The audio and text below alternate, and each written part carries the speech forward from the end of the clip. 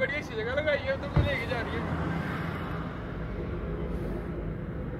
इधर वो गाना लगा यार है